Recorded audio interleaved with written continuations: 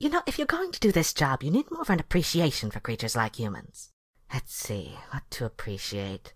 Oh! Sphincter muscles! Sphincter muscles? Yes, we only use them in our digestive tracts, but they also use them in their eyes to focus light on their retinas in concentrated squirts, allowing them to see things clearly whether they are near or far. Oh, I guess that's pretty interesting. So they also use them in their mouths? Hmm? Oh, no, no, no, no. The other end. So they use the same kind of muscle to see and to. Exactly! I don't appreciate that at all.